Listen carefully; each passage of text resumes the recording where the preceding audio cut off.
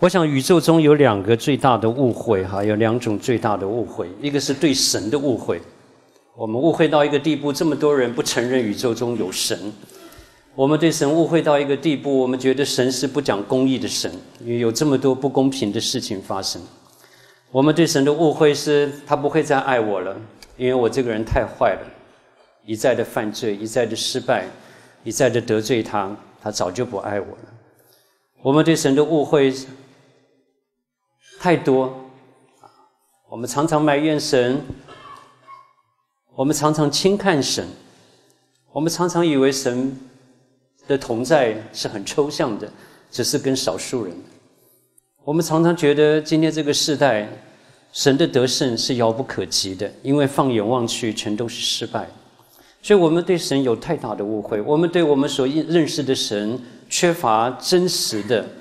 平衡的、全面的、深入的认识，而另外一个很大的误会就是我们对自己的误会。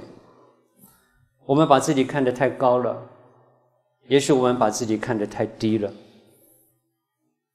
我们很很多的地方对对对自己着迷，就跟约伯一样，这么好的一个人，到最后他从欣赏神的恩典变成欣赏自己，他从数算主的恩典变成数算自己。我们很多的时候真的不够认识自己，我缺少像保罗说的，要看自己看得合乎中道，就是不能够高看自己以至于我骄傲，也不能够低看我自己以至于我糟蹋了神救我、神招我的目的。所以，亲爱的弟兄姊妹，我们为什么说一个人他到底长进的快还是慢？到底这个人路走的好不好？到底这一个人生命长进的扎不扎实？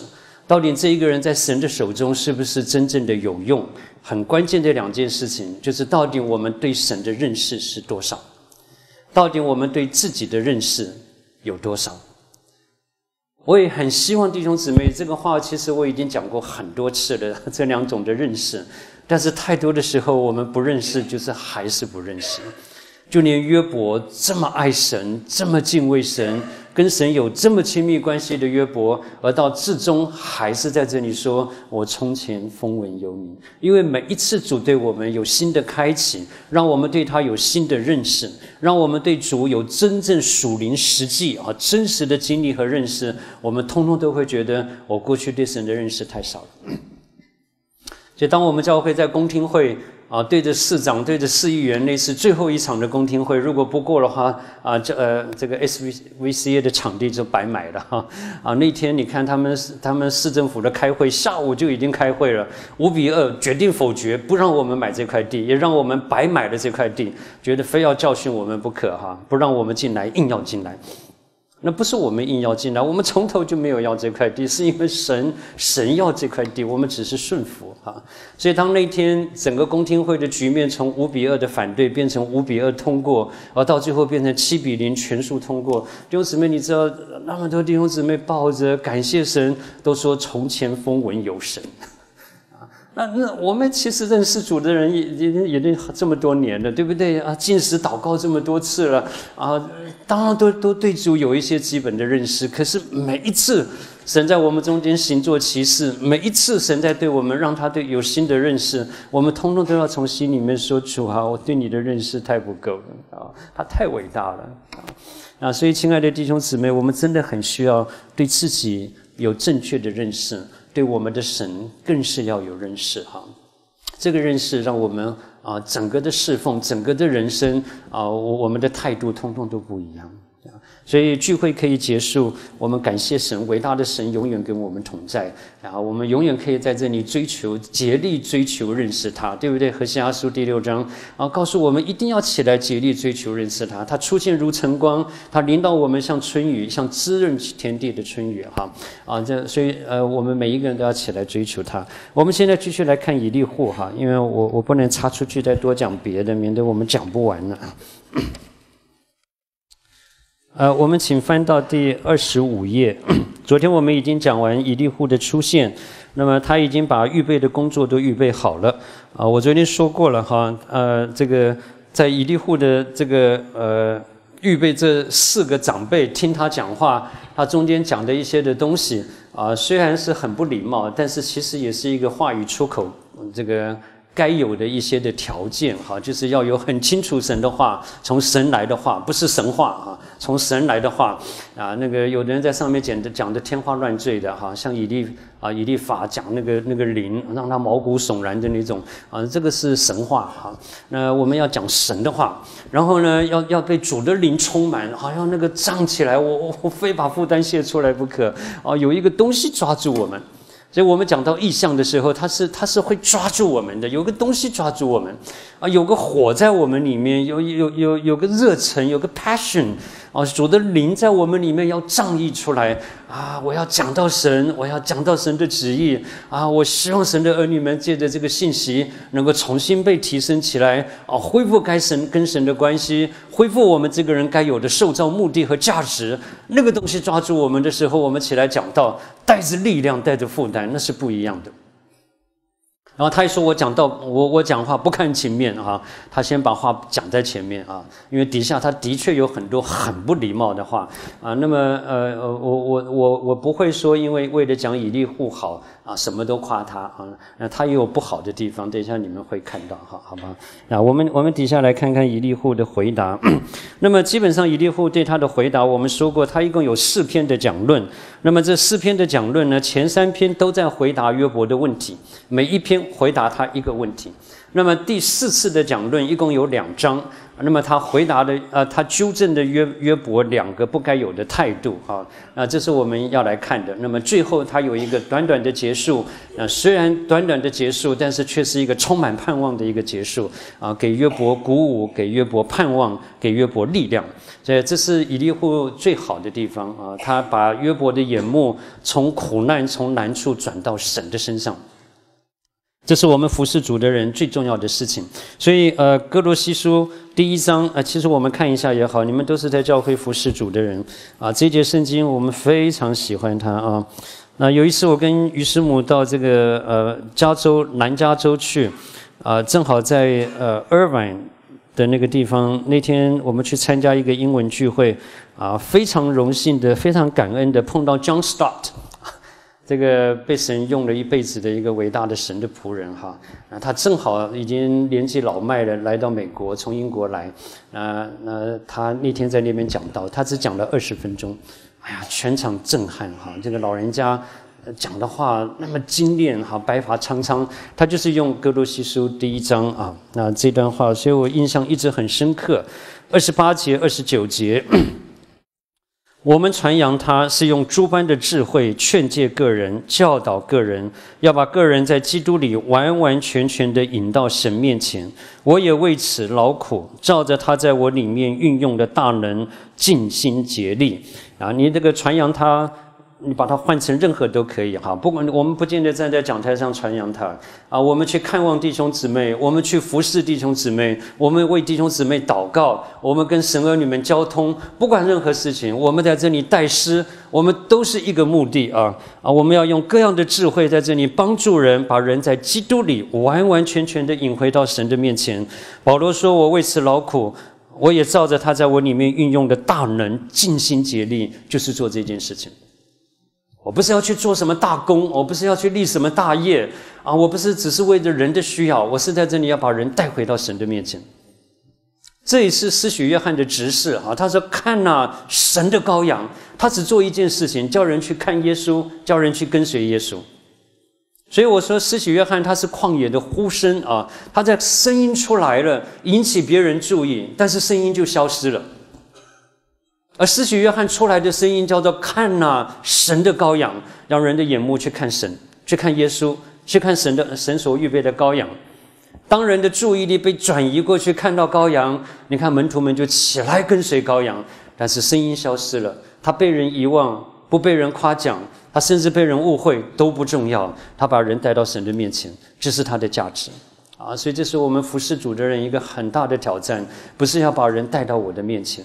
所以今天看到很多的教会，呃呃，这个 leader 们在那边斗来斗去，各据山头，我们有时候会很难过哈。那仇敌也故意借借着一些的事情，造成很多不必要的伤害、误会、间隔那弟兄姊妹，我们我们只做一件事情，把人带回到神的面前去，啊，宁可受屈，啊，宁可被误会，宁可受伤，但是我们要的一件事情，就是所有的人都需要神。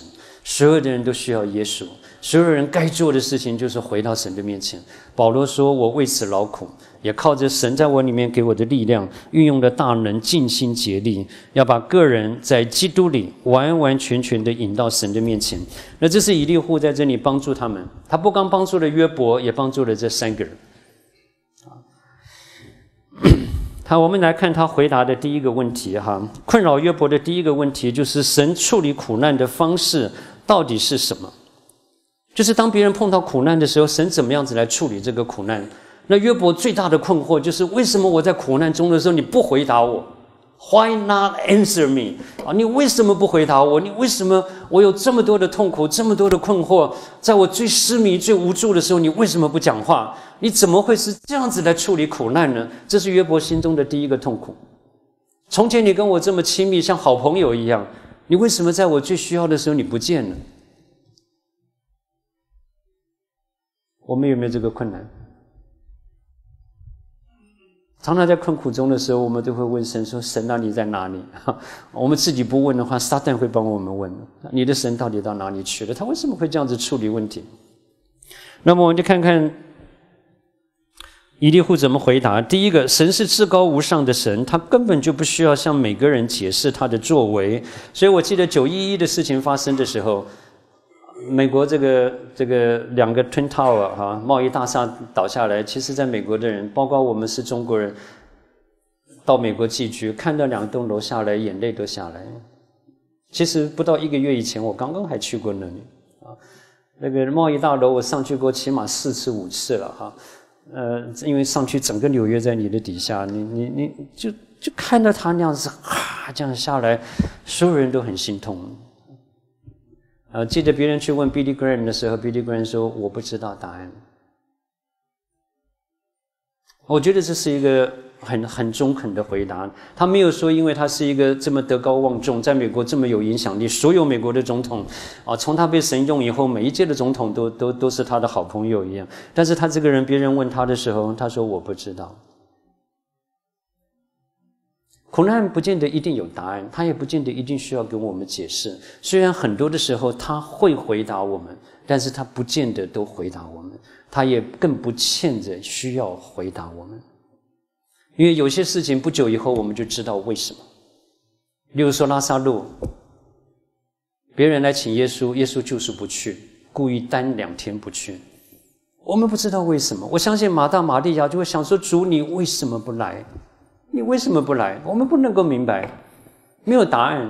问别人说：“你去问了耶稣，耶稣怎么说？”他说：“我不知道。”我跟他讲了，说所爱的人病了。他说：“那他都没说什么。”他说：“没有。”他再打发人去，可能还是不来，不来就是不来，不知道答案。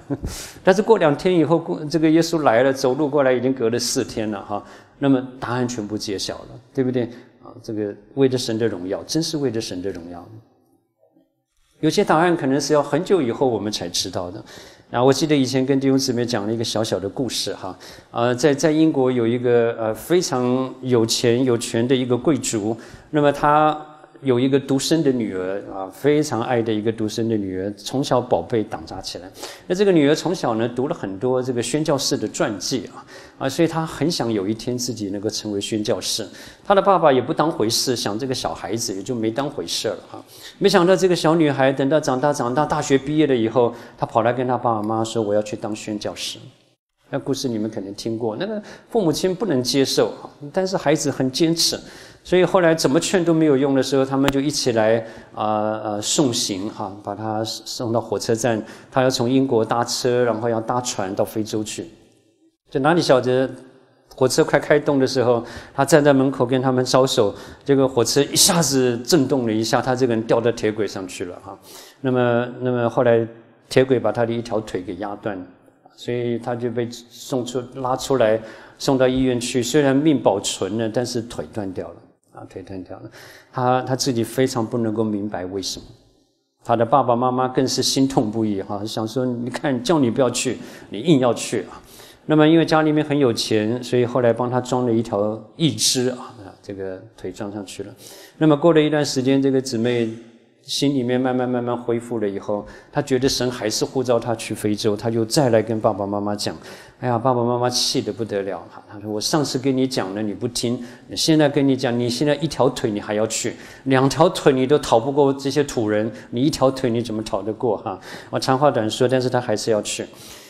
他说神那么清楚的带领他，结果他走的时候，这一次一个人都不来送他，连爸爸妈妈都不来送他。”他就孤孤单单提着箱子到了非洲去，到了非洲，他他融入当地的呃这个宣教团队，在那边学语言，在那边过很清苦的生活，在那里服侍他们。那么有一天，他负责去采购啊，那么他出去啊出去采购的时候，结果回来啊，他走迷路了。走着走着，越走越走的反方向，走到山里面去了。走到山里面去，他就突然看到一些非洲小孩子。这些非洲小孩子没有看过白人，哈，吓哭了。啊，那个孩子哭叫的时候呢，就突然几个黑人啊，这个啊，这个土著啊彪形大汉出现了，结果就把他给抓去了。抓去了以后呢，啊，后来才知道这个土著是当时少数留下来的，还是食人族哈，是吃人的。那所以呢，他们把他抓了以后，就准备要把他献祭。那好几个宣教士在这里被被献祭，啊，来到这里就被抓，白人经过这里就被杀啊。所以呃，他这个女孩子也被抓了。那天那天傍晚在那个广场上面。他们准备要献祭哈，跟平常一样，把他绑在柱子面前。那那底下准备要把他柴火都放好，准备要献祭了。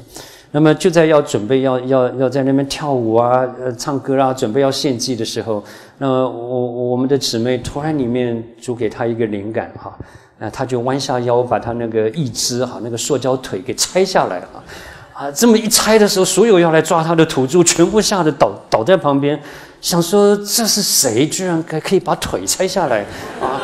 嗯，从来没有看过的人，他有这么大的这个超人能力，把腿可以拆下来。哇！那个酋长坐在虎皮大衣上的这个酋长哈，简直也不敢相信，他就站起来，把这个腿接过来哈，他当场咬一口哈，一咬发现腿是硬的哈，哎呀，他马上跪下来，他觉得是神降临，好的啊，叽里呱啦叽里呱啦在那边拜他，所有的土著都拜他。不仅仅没有吃他，那福音这么一个坚固的营垒，多少人被土著吃掉了，却借着一个弱女子把福音传进去了，让他们都归向神。很多的时候，苦难临到我们身上，我们找不到答案，真的找不到答案，甚至我们受到很多的羞辱。你爱主会爱成这个样子，你走主的道路走成这个样子，你看看你连生活都养不下去了，你看看你，你都救了多少人？教会到现在还是不到十个人。我们会听到很多的羞辱，我们很多的时候不明白，主我爱你，我明明是去看望你，却让我撞车。我明明到医院里面去，我为了爱他，我为他按手祷告，这个病却传到我身上，结果现在他出院了，我住院了。就是我们不能够明白，我们以为神一定保护我们，我们是是至高神的仆人，神一定会看守，神一定会保护，结果我们却得了这个病。所以，我们很多的为什么，很多的为什么，很多的为什么不明白，神没有解释。他可以解释，但是他并不欠我们解释，因为他所有的事情底下说到，他都有原因的，我们不见得知道，他也不见得现在要让我们知道。所以，在这边三十三章十二节，我要回答你说，你这话无理。啊，前面因为约伯在埋怨神哈。就是第八节，你所说的我听见了，也听见了你的言语，说我是清洁无过的，我是无辜的，在我里面也没有罪孽，是神找机会攻击我，以我为仇敌，把我的脚上了木狗，窥察我一切的道路。所以你发现约伯这个时候是已经灰心至极哈，他也从来没有想到他会对神有这样子的埋怨跟小信，这都是他从前不知道的。那底下一利户给他的回答，他说：“我要回答你说，你这话无理，因为神比世人更大。你为何与他争论呢？因为他的事都不对人解说啊，并不是他都不对人解说啊，啊，神不见得都对人解说。那英文的翻译是比较准确一点。他说呢，他是说你为什么要埋怨他？说他都不肯回答我，或是他都不会回答我。这是约伯对神的苦读。”觉得我不管怎么问他，他都不会回答的，并不是神都不回答，很多的时候神回答，但是神并不欠我们一个回答，啊，这是一个正该有的态度啊。第二个，他说，更何况神已经用了各种不同的方式回答人，只是人常常听不见，所以他举了三件事情，例如说，神说了一次两次，世人却不领会，啊，所以神回答的方式，第一个就是神自己说，第二个。神用各种不同的方式方法来回答人，甚至用人睡觉的时候，他都可以用梦和意象来对人说话。神用环境说话，神用我们的经验说话，神用各种不同的方式来回答我们啊。那四的目的是为了开通他们的耳朵，将当受的教训印在他们心上，好叫人不从自己的谋算，不行骄傲的事。男主人不陷于坑里，不死在刀下。那第三个，神说，呃。以利户说：“一千个天使中，只要有一个可以做传话的，与神同在，只是人所当行的事，神就会给他开恩，说要救赎他，免得下坑。所以神两次、三次向人行这一切的事，都是为了要把人从深坑救回，哈，救回人的灵魂，使他被光照，与活人一样。所以不是神不理，不是神不回答啊，而是神回答的，很多的人听不见。”神用不同的方式回答，人却没有接收，或是神巴不得找到有人去帮神传话，但是却找不到这样子的人啊！所以为什么呃？罗马书说信道是从听到来，对不对？然后那个那个，但是如果没有受差遣的人，怎么能够听到道呢？所以主在这里其实是愿意对人解说。有时候神感动我们去看望，但是我们不去。所以在于六或在这里说，一千个天使中，只要有一个肯传话，神就会差他去啊，去对人施行恩典啊。所以我想，我们服侍主的人也是一个很大的责任啊，做神话语的出口。要能够顺服神。底下他说，鼓励约伯要要用心，而且有耐心的继续听下去，因为还有别的问题他要回答。啊，他怕约伯像对三个朋友一样，听完就要反驳，听完就要反驳，所以他跟约伯先讲在前面，先不要讲，哈，你先不要讲，你安静，你听我讲。啊，他很怕约伯开口，因为约伯一开口不得了的，哈，啊，这个三个人都讲不过他。但是呢，他大概这个这个太紧张了哈，讲话也很重。他说：“你要侧耳听我的话，不要作声，等我讲话。你如果有话要说，可以回答，你只管说，我会愿意听你的，以你为是，我愿意 justify 你所说的啊。但是呢。”如果不然，你就要听我说，你不要作声，我便将智慧教训你。这话都蛮大的，啊，这个口气都蛮大的哈。啊，他就是怕约伯开口哈，啊，所以用尽的方法求他不要开，命令他不要开，啊，那么然后说你你你听我讲，不要作声，我要把智慧教训你。那我已经说过了哈，我相信你们不要读了约伯记回到教会里面对年长弟兄这样讲话，啊，千万不要哈。Listen to me，啊，你要听我的啊，Be silent，你你你你就准备被赶出教会去了哈。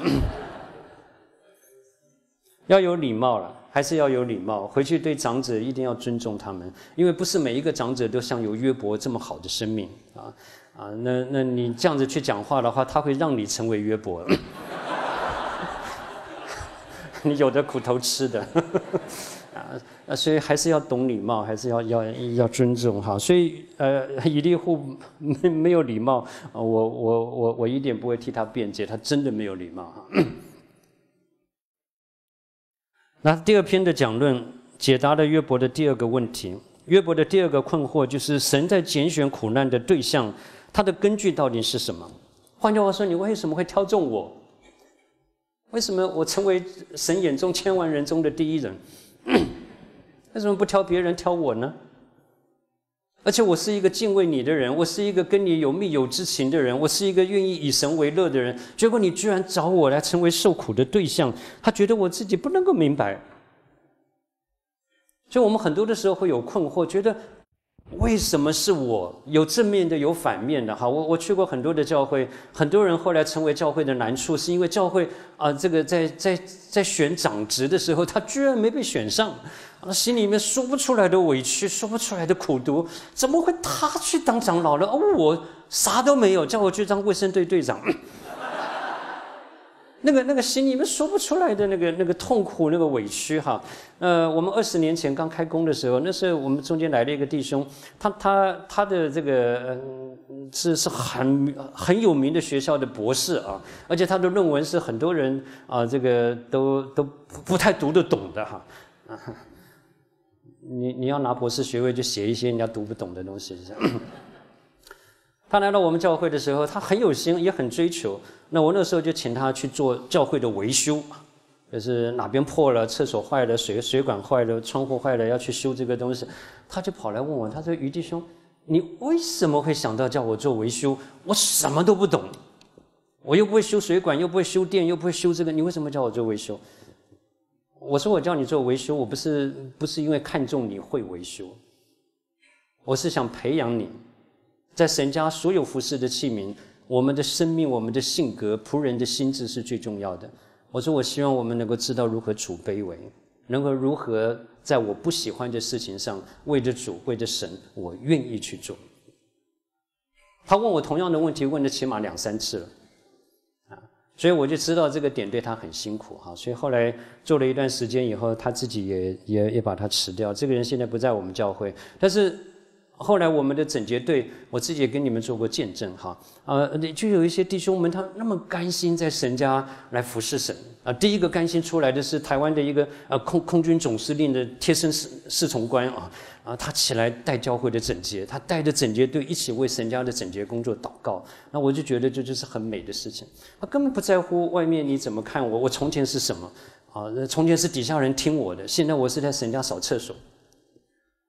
接下来他就交给一个脑神经科的一个医生啊，你们很多人可能都在网络上听过，这个这个当当医生的又是脑神经科的，呃，怎么会来神家扫厕所呢？啊，那你就发现他们都很有榜样，很谦卑。所以我说我们教会的卫生队有一半以上是博士啊。那因为因为因为别人看到这些带头在那里竖起腰在那里洗在这里刷的人啊，是是有头有脸，而且。而且而且是这么在地位上各方面都这么好的人，所以大家知道神家不一样，所以他做着做着，我们也都希望你不是一个人做哈，你一定要为神家成全。所以我们讲到属灵的传承，所以他交到第三棒的时候是是一个公司的董事长啊，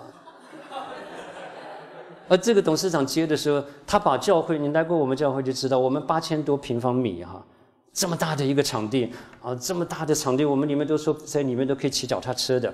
他他把每一个角落自己花时间，每一个角落自己扫过一遍，然后他回去安排做计划。这个地方大概需要几个人，那个地方大概需要几个人，这边大概需要什么东西，然后他开始做整洁的工作。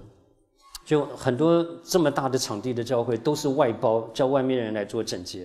但是在我们教会里面，我们要神的儿女们学习侍奉神。也就是培养性格、培养侍奉神的一个机会哈。所以呢，呃，在这边约伯，我相信，如果是做这些东西，他都愿意，他绝对不会埋怨的，因为约伯的生命太好了。但是约伯不能够明白的就是，当人都认为人受苦难、遭灾难是因为犯罪。而你却让我成为这个受苦的对象，成为别人受羞辱的对象，从别人对我身上产生了一个这么大的误会。我一心是为了要荣耀你，而今天众人都认为我犯了罪，而且你对我隐藏，更证明我犯罪。你怎么会这样子对待我？所以他心里面一直有这个呃呃怨恨、苦毒、不明白、困惑哈啊，真的不明白神为什么要这样子对待他。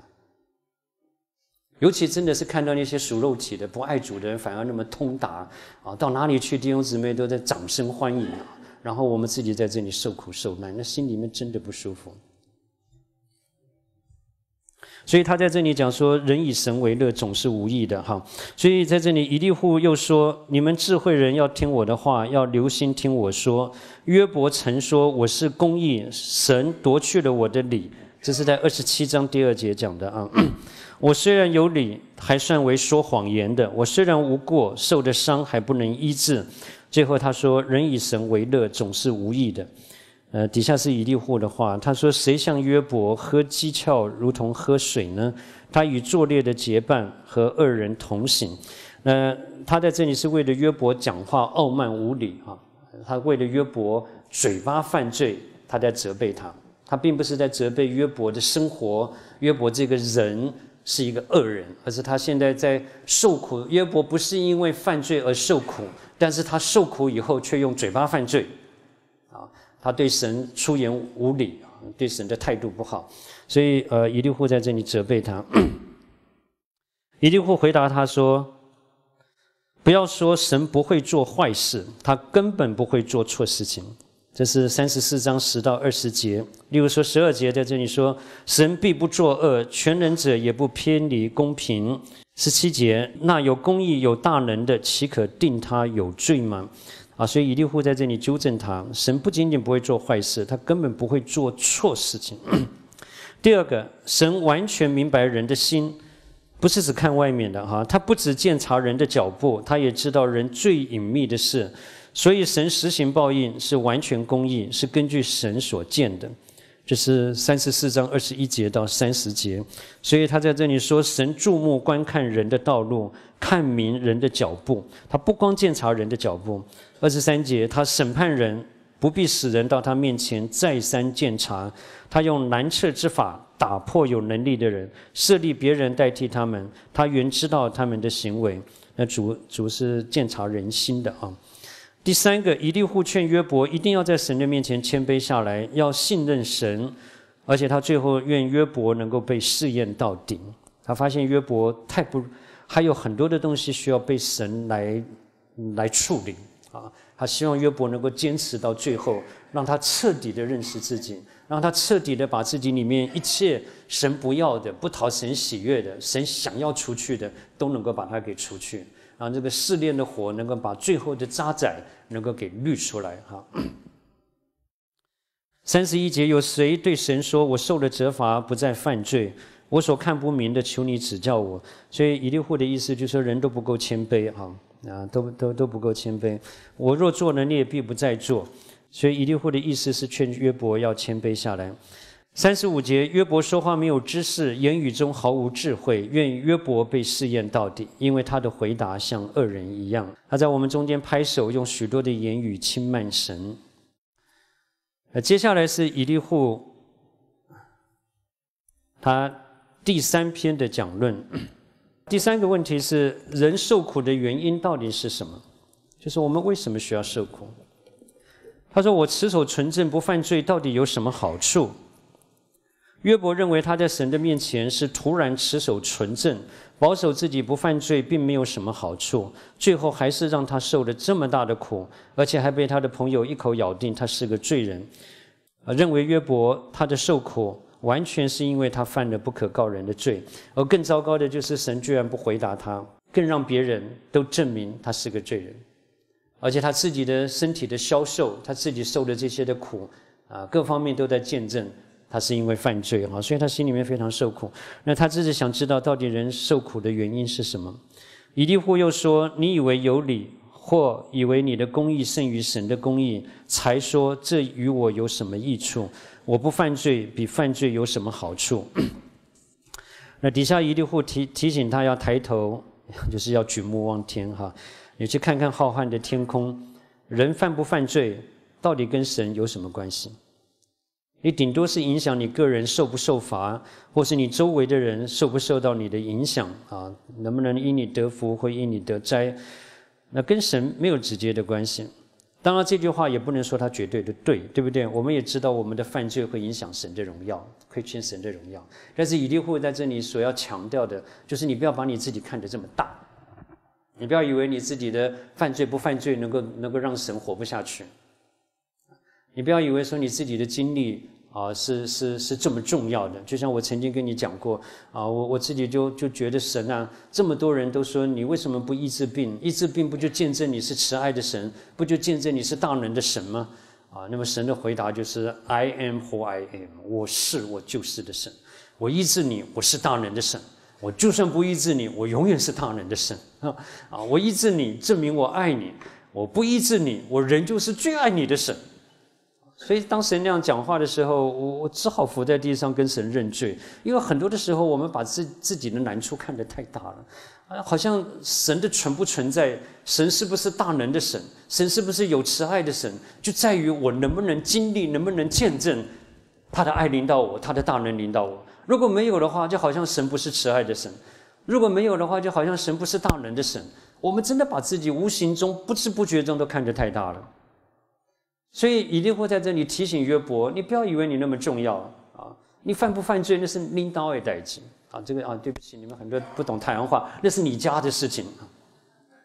我们在台湾话常常是这样讲的哈。啊，你你你爱不爱主那是你的事情啊。你不要以为神这么受你影响，少你一个算什么？所以我只是讲说以利户的重点是这样，但是就着真理来说，每一个他都看为宝，看为尊，对不对？啊，我们的一言一行，我们其实都影响神的，非常影响神的哈。所以约伯呃以利户在这里回答三十五章第四节，我要回答你和你在这里的朋友，你要向天观看。张望那高于你的穹苍，你若犯罪，能够使神受何害呢？你的过犯加增，能使神受何损呢？你的过恶或能害你这类的人，你的公义或能叫世人得益处。虚妄的呼求，神必不垂听；全能者也不必不眷顾。如今，因为他未曾发怒降罚，也不甚理会狂傲，所以约伯开口说虚妄的话。多发无知识的言语，就说你不要以为神没有降罚啊，没有处罚你，你就可以继续的啊，这个这么放肆的讲话。这是约伯回答他的第三个问题哈，就人受苦的原因到底是什么啊？他觉得不犯罪比犯罪有什么好处呢？我为什么要受这个苦呢？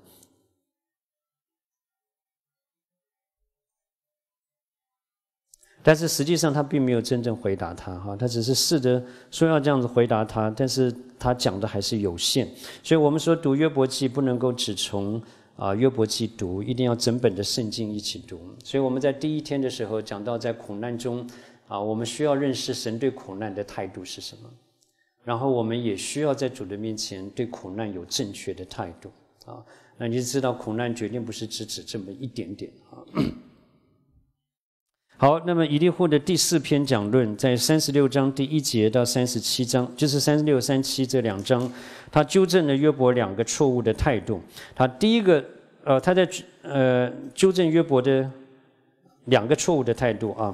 那一个错误的态度是他对言啊对神这个这个言语不敬。那第二个错误的态度就是他一心想要跟神亲自的争辩这两个态度。那么在约。以利户纠正他这个态度之前呢，啊，他先提醒了约伯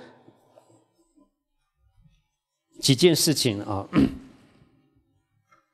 第一个，他说神是公义的，而且是满了怜悯和体恤的神，这是三十六章第一节到第六节。以利户接着说：“我要将所知道的从远处引来，将公义归给造我的主。”神有大能，并不藐视人；他的智慧甚广，他不保护恶人的性命，却为困苦人伸冤。所以他在他纠正约伯的错误以前，他先提醒约伯：神永远公义，而且永远满了怜悯，满了体恤。啊，公义和慈爱，这是神的性情。第二个，他提醒约伯：神时常看顾，并且管教艺人。换句话说，他提醒约伯，即使是异人，也有可能受苦。那这件事情我们听起来很容易，但是对约伯这个时候，好像久旱逢甘霖啊啊！因为三个朋友一口咬定，人犯罪不是人受苦，只有一个原因就是犯罪。但是突然从以利户的口中说，异人也会受苦，哎呀，对他来说，心里面好像有人替他伸张正义啊！他里面对他来说是一个很大的安慰。呃。以利户告诉他说：“艺人不仅仅有可能受苦，他也有可能需要被管教、被校正。”啊，所以我们来看底下的经文第七节：他时常看顾艺人，讲到神常常看顾艺人，使他们和君王同坐宝座，永远要被高举。他们若被锁链捆住，被苦难的绳索缠住，换句话说，艺人也会被苦难的绳索缠住啊！你知道吗？这就是以利户给约伯一个最大的安慰。就连艺人，虽然平常神让他跟君王同坐啊，永远被高举，但是他也会落到苦难里面，甚至被苦难的锁链缠住。不仅仅他会，艺人会受苦。而且艺人也需要受管教、被校正。他就把他们的作为和过犯指示他们，叫他们知道有骄傲的行动。他也开通他们的耳朵，得受教训，吩咐他们离开罪孽，转回。哇，这个对约伯来说太大的安慰啊！不光艺人会受苦，艺人也可能失败，也可能犯罪，也可能需要被神管教。所以被管教的时候，也不要灰心，觉得我是烂三流的哈，神不可能要的，神不爱我了啊！这个我们在神的眼中。还是被神看为义的人，尤其在基督里，我们永远是义。这对我们这些犯罪的人，特别是新约的圣徒，这是一个很大的恩典。哈，神是透过神儿子的血，神是透过他的儿子来看我们。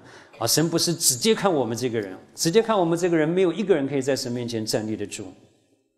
凭着我们自己这个人，我们不可能蒙神悦纳的。你说我们有什么好值得神喜欢的？三番四复，哈，这个，这个，呃呃，败坏、软弱、贪爱世界，这个满身肉体，啊，脾气这么多的地方，你以为神爱我们爱到要死吗？啊，今天是因为我们接受了他的救恩，神儿子在我们身上，神儿子的生命在我们里面，外面披戴的基督，外面披戴着他儿子的宝血，所以每一次来到神面前的时候，神是透过他儿子看我们，他每一次喜悦我们，就像喜悦他儿子一样，因为他儿子在我们的身上，所以我们能够在啊失败跌倒之后还敢回来，甚至还能够带着一个把握，知道神仍旧爱我，是因为耶稣没有离开我们。这叫做伟大的救恩，这叫做完全的救恩。他不是让我们去有了这个以后就就任意犯罪，那是不认识神的人说的。好，那底下呢，他又提醒他第三件事情，他提醒他，一个在神手下的人，他的反应如何，就决定了他的结局如何。顺服与不顺服将有完全不同的结局。呃，所以十一节说，他们若顺从侍奉他，就必度日亨通，历年福乐；若不听从，就要被刀杀灭，无知无事而死，必在青年时死亡，以污秽的人一样丧命。所以以利户也在这里提醒约伯啊，对神的管教，对苦难，你到底用什么态度回应是非常重要的。先不要管苦难的原因是什么，今天你在苦难中，你的态度是什么？是非常重要的事情啊！顺不顺服决定了我们完全不同的结局。而第四个，他更积极上告诉约伯苦难正面的意义啊！不光一人会受苦，不光一人要受管教，一人也需要被神校正，一人有可能犯错，需要神来恢复他，而且呢。苦难临到神的儿女们是有非常积极的目的。他在这里至少提到四件事情：第一个，神借着苦困苦救拔困苦人。这个我相信我们都能够了解啊。你说我已经长了癌症了，已经够痛苦了，这些医生怎么这么狠心，还要对我动刀？对不对？啊，借着困苦救拔困苦人啊，因为因为我身上有病，我需要。所以我以前讲过，我的儿子小的时候才几个几个月大。呃，不一岁多吧。那我那天去上班，他自己在那边爬啊爬，不知道从这个衣橱里面拉开来，捡到一个樟脑丸，就以为是东西就吃了哈。呃，那个于师母打电话给我，从公司里面冲回来，把他送到医院去急救。那那个医生就用那个呃液态的碳哈，那个黑黑的黏黏的啊，要把它从嘴巴灌进去，要把那个毒给吸收掉啊。所以医生不准我们进去啊。然后我就听到儿子在里面尖叫。惨叫！哎呀，那个那个杨老师在外面一直流眼泪，就就是很心疼。好，那想说怎么他会找到那个小东西？你想根本没注意到有的，哎呀，他就吞下去了。但是你说需不需要？爸爸妈妈爱孩子是好忍痛让他痛苦了，因为要借着痛苦就把。我这个危险受苦的人嘛，不然的话，将来在他里面啊，如果真的消化进到脑子，他可能呃智障呢，可能伤害了，可能更危险的伤害，对不对？我们需要借着困苦来救拔困苦人，所以很多的时候，神需要救我们，是因为我们里面已经很严重。第二个，趁着他们受欺压的时候，开通他们的耳朵啊，那这个生过小孩的都晓得哈。啊你跟小孩讲五遍，他不听的。你需要让他自己吃点苦头，啊，你跟他说手不可以插到插座上去，他就是不听，啊，哪一天一插到之后，你发现他这个样子，他再也不敢插了。你叫他不要去摸锅，那个烫的，他不听。哪一天他摸了一下以后，他再也不敢摸了。你叫他放下，不可以吃，他硬要吃，你打他一次，下次他吃东西，他一定都偷偷看你。他不会大摇大摆的拿起来吃，他下次一定偷偷看，啊，假装不知道。那个孩子都是这个样子，有时候我们都已经注意到他捡起东西了，他好像没事一样，哈，啊啊！你过去你说把手拿出来，他就不要拿，你拿出来一捏开来就是一个小东西在里面，啊，这个老亚当的生命普天下都一样，借着困苦不是借着受欺压的时候开通他们的耳朵，很多的时候都听不进去。听不进去，不打听不进去的啊。所以圣经上说，你不忍用杖责打孩子的，你就是把他推到阴间去，是吧？啊，你就是害他，你一定要管的啊，因为是为了让他得福。第三个，神也必引你出离患难，进入宽阔不狭窄之地。苦难是为了要提升我们、丰富我们、扩大我们，啊，允许我们经过水火，但是那不是目的，要把我们带到丰富之地。啊，容许我们经过流泪谷，那也不是目的，他乃是要让我们使这股整个性质改变过来，啊，这个这个让这股成为泉源之地，而且有秋雨之福盖满了全国。他容许我们经过死荫的幽谷，那也不是他的目的，他要让这个死荫的幽谷成为以马内利啊，充满了神的同在，啊，我们能够靠着主走出来啊，靠着良人从旷野上来。弟兄姊妹，这是。苦难积极的目的，让我们整个人不一样，跟神的关系不一样。我们的度量被开阔了，我们的人被提升了啊！水涨高了。刚刚有一个姊妹在电梯碰到我，她说：“于老师，除了挪开礁石、水涨船高，还有没有第三个答案？”我说：“什么答案？啊，把一个救生圈给我们，让我们可以游哈。”我说：“你那你一辈子泡在水里面多没意思啊！”你再怎么游，比不上水船可以继续走，对不对？啊，你喜欢在水里面泡一辈子，还喜欢在船上让神带我们去要去的地方啊？啊，他说：“哦，对对对，好。”第四个，摆在你席上必有肥甘。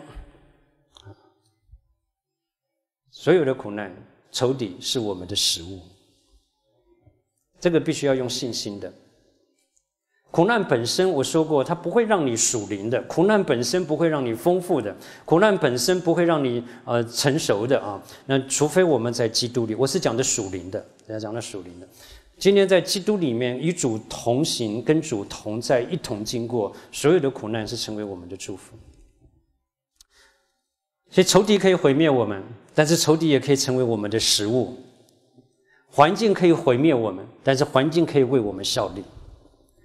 同样的一个难处临到我们，风浪发生，它可以淹没我们，它也可以提升我们对主的信心。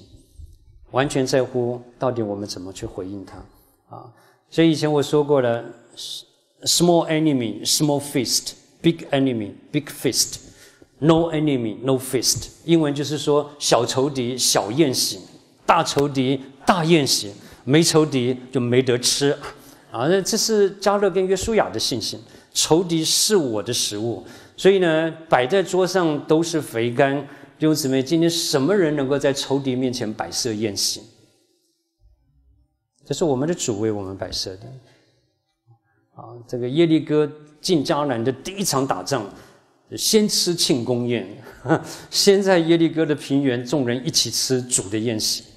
啊，这叫做在我仇敌面前，你为我摆设宴席。啊，人家都是打胜了，剩下的人来吃庆功宴。咱们基督徒是先吃庆功宴才去打仗，也胜过仇敌，仇敌就是我们的食物；胜过环境，环境为我们效力；胜过风浪，风浪提升我们的信心。啊，今天我们在主人面前摆在你面前的啊，席上的必有肥甘。所以这是这是以利户给约伯一个正面的哈，一个非常非常正面的啊！不要认为说苦难只是神刑罚。三个朋友就是一口咬定，苦难只是为了刑法，为了管教，因为你犯罪了。他们对神的认识非常的狭窄啊，那非常的肤浅，而且非常的主观。但是以利户给了他一个新的角度来看他的遭遇。接下来以利户呢虽然讲了这么多很有意义、很有价值的提醒，但是接下来以利户就开始不客气的指责约伯他不该有的态度。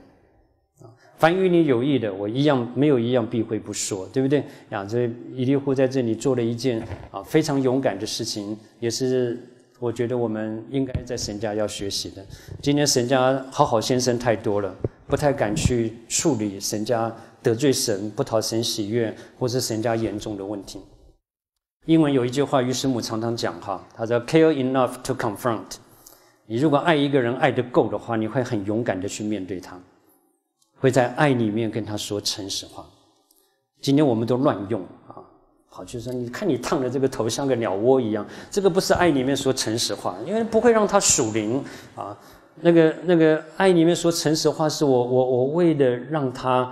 啊，能够能够跟能能够跟神的关系正常，或是能够让他属灵生命得造就，为了让他从错误里面出来，为了让他从灰心失望里面重新转向神，为了让他从自暴自弃的里面在主人面前重新找到盼望，那这是我们去看望别人，这是我们帮助别人的一个目的哈，在爱里面去 confirm 他。而，童工做错了，得罪神，得罪人，我们勇敢的去面对。但是我们是祷告过，带着主的同在，带着主的爱，带着主的话去，而不是只是为了责备他。责备不是目的，纠正啊，帮他回转才是我们的目的。所以他纠正约伯的第一个错误，就是他对神讲话大不敬啊，言语不敬。啊，约伯心中愤愤不平，他对神的言语不敬。因此，以利户劝他不要在满口恶人的批评，不要心中积藏愤怒，不要不服神的责罚，以至于一一意偏行己路啊！你注意底下这几个不可不要不要，这是他的提醒。所以十七节开始，他说：“你满口有恶人的批评的言语啊，判断和刑罚抓住你，不可以容愤怒触动你，使你不服责罚，也不可以因为赎价大就偏行。”啊！不要切慕黑夜，不可看重罪孽，不可忘记称赞他所行的伟大。我想大家回家自己看。他纠正他第二个错误是在三十六章二十四节一直到结束啊。那约伯一直有一个态度，就是他想找神跟神辩论，因为他觉得是神夺去了他的理，让他在朋友面前百口莫辩。虽然他可以辩辩胜得了他的朋友，但是他知道他没有折没有办法折服他们。只要神说话的话，这些朋友们就无话可说。结果神居然不说话，所以他觉得神夺去了他的理。我明明有理，但却不做我的见证人，你却不出来，不不不出来支持我啊！所以他心里很委屈啊，觉得敬畏神是白敬畏的，以神为乐是白以神为乐的，跟神有这段的关系，白交的朋友，真的白交的朋友啊，这个认错人了啊。所以他很想跟神争辩啊，所以第三节，唯愿我能够知道在哪里可以寻见神，到他的台前，我就在他面前将我的案件陈明，满口辩白。到了三十一节，三十一章结束以前，他还是对啊，刚才那一节是二十三章啊，三到四节，在三十一章三十五节，他在快约伯的话说完了之前，他又讲了一次，唯愿有一位肯听我，看呐。在这里有我所画的鸭，愿全能者回答我，我必向他诉说我脚步的数目。换句话说，他的每一步路，他觉得都是经得起查看的。啊，我想我们中间没有几个人敢讲这句话。约伯是一个真的很正直的人啊。他说：“我要像君王一样到到他的面前。”嗯，他这个这个说他是狂傲，在神面前的确是狂傲。但是约伯讲这句话的意思，就是在他里面坦然无惧。我良心无愧，没有人可以责备我。我没有犯错，哦，半夜不怕鬼鬼来敲门，因为我自己知道我是个正直的人。这就是约伯的态度，他一直要跟神争辩。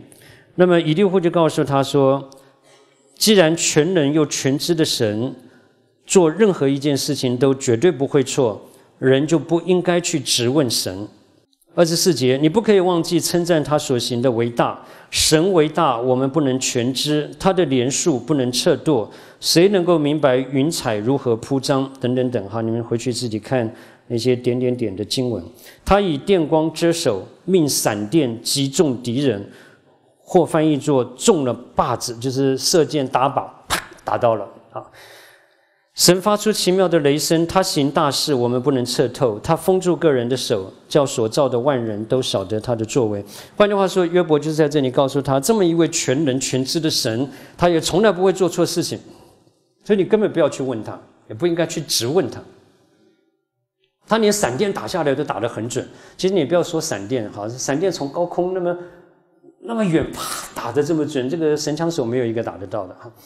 而且你如果去读圣经的话，多一点体会，你发现这个这个神厉害的不得了。你去读约书亚记第十章，当他们约书亚的军队跟武王征战的时候，啊，这个这个 仇敌在他们面前下坡路逃跑的时候，百姓在后面追杀，哈，两军在厮杀的时候，神从天上降冰雹。这些仇敌哈，圣经上说冰炮打死的比以色列杀死的还多。两军在厮杀的时候，神在天上开激光枪，然后每一枪都只打仇敌，不打自己的百姓。你说全世界哪里找得到这种枪手？去哪里找？所以神从来不仅仅说他不随便做事，他不会做错事情，他真的不会做错事情。啊，他所有做的事情都是积极的，为了保护他的儿女，为了带下他的祝福，为了成就他的旨意，啊，所以不需要问啊。所以以前我说有一个有一个神的仆人说他太忙了没有空写书，他说我我我我我想写一本书，就是神从来不会说的话。他说第一章我要写的就是神从来不会说哎呀，什么叫做哎呀哎呀我打错了，我明明是要打达军，结果打到王弟兄。对不对？我明明是要教、要管教这个，结果哎呀，打错了啊！这个不小心把他打死了。神从来不说哎呀，真的。我说过那天帮我翻译的这个这个呃姊妹，她就说神从来不说哦哦，哎呀，因为对美国人来说，他们不知道什么叫哎呀哈啊，他们就说哦哦 啊，神从来不说哦哦。啊，米开朗基罗在那里雕刻大卫的像，雕刻摩西的像，哎呀，把鼻子打掉了，啊，只好用乔尼胶粘回去。啊，神从来不做这种事哈，他每一刀又准啊，又深入哈，这个从来不错。我说你不要说电打下来，闪电打下来他不错，我刚刚说连冰雹打下来都不错，那我们就心服口服吧，真的。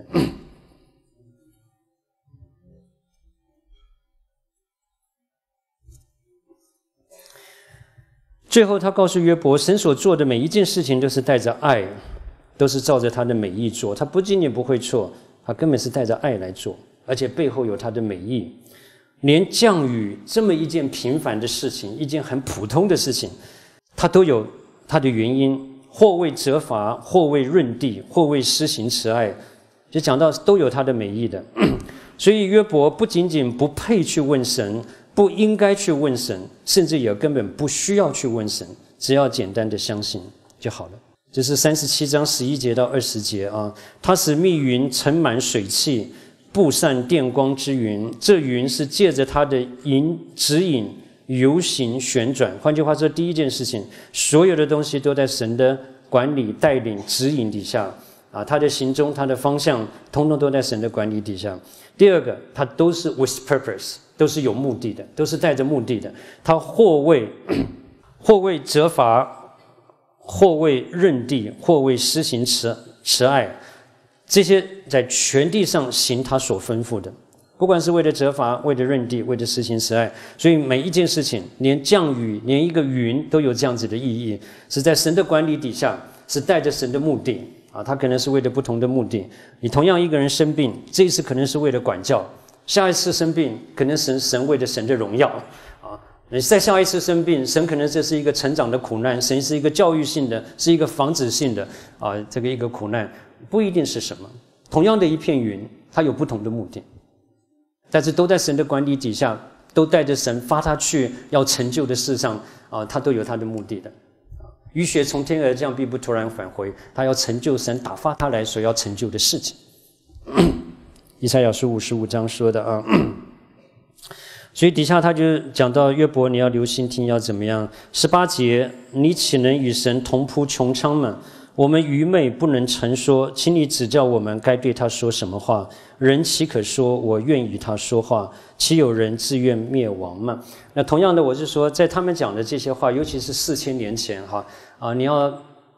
搬回到今天新约的真理里面来的时候，你就知道，啊，这些话都不是那么绝对、那么完全的。神喜悦跟我们说话，啊，神喜悦我们到他的面前去，他甚至呼召应许我们，我们只要亲近神，神必定亲近我们。只要我们转向他，帕子就可以除去，我们可以敞着脸见着他。啊，我们的神是一个乐意跟我们说话的神，他喜欢我们去。啊，跟他倾心吐意啊，所以这是在旧约的亮光、有限的亮光、有限的经历里面，以利户在这里劝约伯啊。他重点，其实他讲这句话的重点就是你不要那么没大没小的，谁敢随便到这个至高者的面前去这样质问他啊？他是要纠正约伯的态度。那么以利户最终的劝勉，三十七章二十一节到二十四节，以利户最后劝约伯：虽然现在暂时有云遮蔽，让人不得见穹苍，但至终天必会又在发晴，金光又会再出于北方。所以他劝约伯不要灰心，要相信全能公义的神必不苦待人，只要敬畏他。所以二十一节，现在有云遮蔽，人不得见穹苍的光亮。但风吹过，天又发晴，金光要出于北方。啊，你就发现这个以利户给他最后冠予了一个新的盼望，让约伯知道这个苦难是暂时的，也就是我们所说的苦难只是在时间里面的。神有神的时候，in His time by His way，在他的时候，按照他的方式，他要让所有的事情让我们心服口服，让我们知道全都是美好的事情。好，这是以利户啊。所以以利户整个的回答，他有几个可取之处啊。我说过，他因为年轻，讲话的时候充满自负，甚至狂傲啊。你有空的话，回去看我列的那几个经文。但是他在这里用新的方法和态度来帮助约伯啊，就是他站在对方的地位，进入对方的痛苦，背负对方的责任。或是说陪着对方来面对他的困境啊，啊，这是以利户很不一样的地方。我昨天晚上已经引用了那些的经文啊，他能够很深入的去了解他。所以我们千万不要那么风凉话哈，高高在上，碰到人家任何难处都说万事互相效力。我不是说这句话决定不准用，要用的何以？要用对的灵来用，不要那么高姿态的用。我听过很多人都随便用。以前有个小故事，大概在遇到故事上讲的哈啊，有一个主人带着仆人出去打猎，结果那个仆人在追赶猎物的时候，不小心自己脚踩到这个捕兽器啊啊，所以他的一只脚就被卡的这个这个血血血淋淋的，很痛苦啊。没想到这个仆人来帮他解开的时候，就跟他讲说啊，万事互相效力啊，他心里面气得不得了哈。我痛苦成这个样子，需要的是安慰，这个是扶持。你跟我讲万事互相效力，结果他就跛着腿跟这个仆人继续的啊，准备回家了。结果没想到在回家的路上碰到这个野人啊，土著的人来来来追他们，那他自己的腿跛着腿不能走哈，就是好慢慢走，他想玩的那个土人啊，那个仆人放着他就跑了哈，逃了。结果没想到这些土人。跑到他旁边不抓他，去追那个逃的仆人啊，啊，那个把那个仆人抓回去献祭，也是食人族啊。那么，那么后来他才知道，这个呃食人族献祭也要没有瑕疵的啊。啊，发现这个人腿瘸了，所以不抓他，啊，把那个还会跑的、健康跑得这么快的抓回去献祭去了。啊，这个真的是万事互相效力。当然，我不知道这个故事是真的还是假的哈。那警告我们这种说风凉话的。所以有一个妈妈也是一个独生的儿子死掉了，她抱着那个小孩的婴孩的尸体，就是硬是不肯放。怎么人来劝她，都已经冰凉了，要要发臭了，她还是死抱着他不肯放。哈，教会神的仆人，他们去看望他，整夜陪着他，陪他流泪，安静陪着他。然后天亮的时候，神的仆人过来跟他说：“姊妹，我帮你把孩子交给神。抱了这么多天不肯交出来的，干干心心的把孩子交给这个神的仆人，因为只有这个人进入了他的痛苦，整夜陪他。他从他的表情就知道他了解他的痛苦，他想分担他的痛苦。人在痛苦中最需要的是了解。”是安慰，不见得是答案，不见得是方法。我相信我们自己受过苦的人都会有这样子的感受。我需要的是新的鼓舞，是了解，是安慰，不是责备，不是定罪，不是方法，不是要求。所以在我们周围也有很多这样子的人，求神帮助我们，真的帮助。你看主耶稣对彼得还没有跌倒，就先告诉他：你回头以后要去兼顾你的弟兄。两个伊马五斯的门徒离开了耶路撒冷，往耶利哥去，迈往伊马五斯去。耶稣向他们显现的时候，一句话都没有责备他们。他知道他们灰心，知道他们冷淡，知道他们离开了神旨意的中心。神对他们说：“不可。”主对他们说：“不可以离开耶路撒冷，对不对？”他们就是离开了。他们灰心了，他们离开了，他们走下坡路了。但是耶稣显现的时候，从来没有责备他们。耶稣把从呃这个旧约先知书律法书上所有讲到耶稣的事，对他们讲说，讲着讲着，他们里面爱火重燃；讲着讲着，他们里面火热起来；讲着讲着，到最后当耶稣不见的时候，他们立刻起来。其实那天是晚上的，当夜就回耶路撒冷去，不需要要求，不需要定罪。人碰到的神，人得到的力量，他自己去起来走上行的路，自己起来会回到神旨意中间。他们需要的是恢复。那个恢复的爱，恢复的力量，这是我们需要的，每一个人都需要。这是主耶稣盼望的，他来就是寻找拯救世上的人，不光是那些没信耶稣的人叫世上的人，多少世上的儿女在外的浪子，主耶稣来都是为了寻找拯救世上的。只要有一个羊，你说这已经是他羊圈里的人了，对不对？已经是得救的儿女了。只要有一只羊走迷了路，他出去寻找。只要有一块钱不在了，他点上灯，细细的找，直到找到了。这个银钱失失去了，就失去了它存在的目的和价值。主不希望我这个人在地上浑浑噩噩的过日子，跟他的旨意没有关系的过日子，没有属灵价值的来过日子，在那里不冷不热的过日子。主要把我们找回来，重新恢复他拥有我们，啊拥有我们这个人存在的价值。你看找回来，他这么高兴，把邻舍都找来。那更不要说那个浪子在外面，父亲天天等候他回来。所以弟兄姊妹，这是主耶稣的爱哈。所以约伯一定会在这里劝他要要要回来。现在云暂时遮盖，好像你看不见神，但是太阳从来没有不在。云过去了，时间苦难过去了，金光要重新出现北方。哎呀，他给他新的盼望，叫他信心举目望天。等候那个日子，哈，这是以利户非常成功的地方。他用新的方法、新的态度帮助约伯，他给约伯提供了新的答案和解释啊。那么同时，他也纠正了他错误的态度。他让约伯知道，艺人也会受苦，艺人也需要管教，艺人也会受挫，呃呃，也会犯错，需要神来校正。那么神让所有受苦。啊，都不是突然的。他为了借着受苦来救把我们，借着我们受苦的时候开通我们的耳朵，而且借着苦难把我们带到宽阔不狭窄之地。而且他在这里为我们预备的结局是让我们享受他席上的肥甘。所以以利夫是非常正面的，把约伯的眼目去用用正确的受苦的态度去期盼受苦该有的结果。第三个，他给约伯新的盼望。约伯已经完全绝望了，绝望到一个地步，他都对神埋怨啊，口出怨言，嘴巴犯罪。以利户却告诉他说：“所有的苦难都是暂时的啊，暂时有云遮蔽，至终金光重出北方。”他劝约伯 “Turn his eyes upon Jesus”，要把他的眼睛转向神啊。所以以利户虽然他不知道天上发生了什么事情，他也不知道约伯到底是为什么原因受苦。他也不见得都完全解决了约伯心中的困惑和问题，但是至少在这里有一件事情，他最成功的就是把约伯心中的翻腾给平息下来。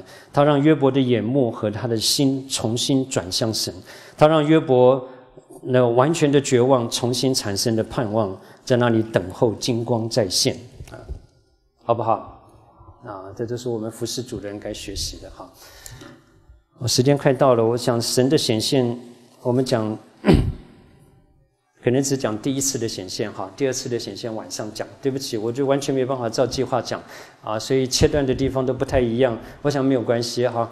那底下就讲到第啊三十八章，那最重要最重要的导演跟主角一起出现，就是我们的神，他出现了啊啊！等了三十七章，他才出来。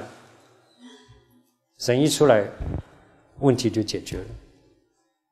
神一出来，神一连串的问题，让约伯心服口服。神根本没有直接回答约伯，但是神问的每一个问题都是一针见血的问题。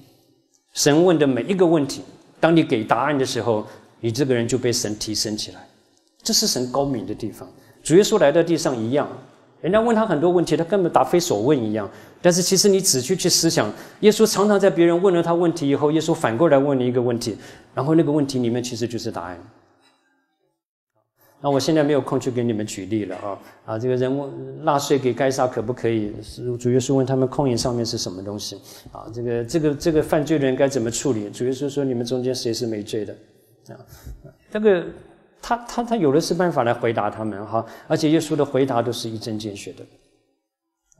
那主神在这里回答约伯的时候，呃，神回答他两次对他说话，都是在旋风中对约伯说话。所以在第三十一页，我在这里特别提到，为什么两次回答都要在旋风中呢？啊，神对约伯讲话可以有很多种不同的方式，对不对？神可以在意象中讲话，神可以像对以利亚一样，啊，有有大风、有地震、有火焰，啊，神可以用各式各样的方法，神可以像西南山上讲话，像雷轰一样。那神为什么在旋风中对约伯讲话？当然，这是彰显神大能的一种方式，哈，直接的回答就是旋风表达了神的全能。啊，因为旋风是很可怕的事情啊！我我们在一九七九年、八零年在美国中部读书的时候，有一天这个傍晚时间啊，这个收到这个 tornado，就是这个龙卷风的警告啊，让大家都要到地下室里面去啊。那个时候下班的时间，龙卷风从 Dallas 啊，在我们底下的德州 Dallas 那边经过，结果正好是下班时间，高速公路上很多的车子，那天多少的车子被卷到天上去哈。啊下班时间龙卷风经过的时候，就死了一百多个人。呃，那龙卷风来的时候，你你房子也被卷啊，车子也被飞到天上去，什么东西都都呃，根本地留不住你的。那个，所以它是很可怕的一个力量。那么神为什么要在旋风中对约伯讲话？当然是彰显他的大能。但是你仔细去思想的时候，其实旋风它在这里有几个特点，我在这里特别提到。第一个，约伯他本身的遭遇就像旋风一样。一来把他所有的产业啊，所有的孩子啊，所有的在这边所所讲的哈，他震撼、摧毁、粉碎了约伯一切所拥有的，他的财富、他的孩子、他的健康、他的亲情啊，他妻子离弃他，他的友情，他人生的幸福，我弄打个 double quote，就表示你所有原来认为美善的东西，他全部毁了，他突然临到，然后全部没有。所以你在美国哈，几乎每一年都有好几次龙卷风经过美国中部啊，你就可以看到整个村庄被毁哈，整排房子被碎得一塌糊涂，然后你就看到那些那些人后来啊，那些幸存者站在那里看着破碎的家园，都在那里哭哈，所有的东西都掉了，照片、值得回忆的地方、房间的家具、房间的摆设啊，所有一切的东西，甚至亲爱的家人，可能都被毁掉。昨天才买的车，今天不知道到哪去了啊！呃，所有的东西就掉了，一夜之间全掉了。它是忽然来，然后忽然没有，这个叫做旋风式的这个摧毁。第二个，他自己在旋风中，这个旋风就是一圈一圈一圈的转，所以转两三圈，你已经不知道你自己在哪里了啊！啊，有有一次我经过电视看到他们这个呃呃这个人在。比比赛这个一种赛跑哈，就是你在地上大概要先这样子转转转转二十圈，然后看谁先走到那个目标啊。所以转完了以后，每一个人东倒西歪，有的人就直接趴在地上了啊，有人横转横转横转，他们横转过来，因为你转了二十圈，你已经不知道你在哪里了。这旋风一来，让约伯完全失去了方向，他不知道他自己在哪里，他也不知道出路在哪里，他甚至更不知道神到哪里去了。这是他遭遇的写照，一种旋风的经历，把他外面摧毁了，把他的里面弄得没有方向。他完全不知道我为什么受苦，他完全找不到答案，他完全找不到出路，他完全找不到神。而第三个，旋风虽然剥夺了约伯一切所有的，但是旋风也让约伯脱离了属地一切的连接，把他带到属天的境界。因为旋风就是从地开始绕绕绕绕绕往上去啊，他就把这个人从地的连接带到上面去。约伯的遭遇、约伯的经历、约伯的眼目、约伯的注意力都一直在地上，在他的苦难、在他的遭遇、在他的朋友、在他们的对话中，呃，旋风把他带上去。所以底下的一段话啊，我们天然的生命都本来都是比较着重在看得见、摸得着的境界，但是神却来提升它。神借着旋风，把约伯的度量、约伯的信心、约伯对神的认识、约伯的生命等等，都提到了一个更高且属天的境界里。他被神提升到一个地步，他在旋风中单独与神同在，他听见了从前听不见的声音。而这样的声音，这样的同在，是他从前在风平浪静的时候，他听不见、摸不着的，也是约伯在现今极其绝望与痛苦的处境中所最需要的安慰与肯定。我都觉得我怎么写的这么好？对不起哈。当神亲自遇见我们的时候，那些困惑不仅不再伤害我们，反而成为我们的笃定，反而成为正面的帮助，使我们对神有更坚定的信心。这也正是以利户在前面告诉他的：神借着困苦救拔我们，神借着苦难开通我们的耳朵。我想我继续念下去。有一件事情值得我们特别注意的，就是神在回答约伯的时候，并没有直接回答他的困惑。我为什么受苦？你为什么挑我？你为什么不回答我？这是前面他的三个问题。神并没有回答他任何的一个问题，反而问了约伯一连串的问题。而这一连串的问题，好像旋风一样，每一个问题都把约伯对神的认识提升得更高，把约伯对神的信心也提升得更高。每一个问题问完之后，约伯对神的认识就更进一步。每一个问题问完之后，约伯对神的体会和信心就更上一层楼。所以等到神都问完了问题之后，神也不需要再说什么，约伯就悔改了。因为神知道约伯所需要的不是解释，而是遇见神。他所需要的乃是再一次的坚定他所信的到底是谁。他需要知道的是，神不仅仅没有丢弃他，神仍旧爱他。因此，苦难并非只是用来试验我们对神的信心，或是显明我们生命的实情，它更是用来净化并且强化我们的信心，来提升我们对神的认识和信任。所以，苦难不是只是纯粹为了试验。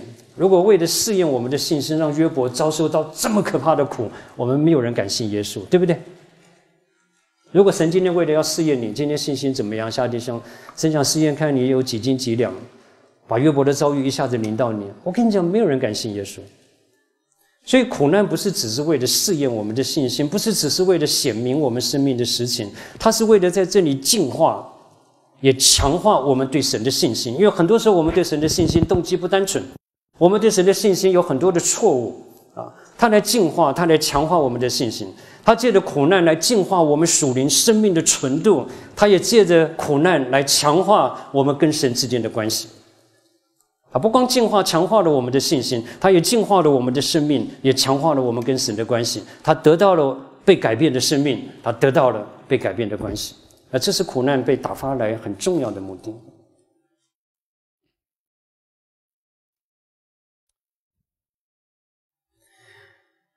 好了，时间到了，那个神第一次的回答就晚上谈了哈。呃，解答不了，我们明年谈。我们唱一首诗歌，一百。十四首，因他活着。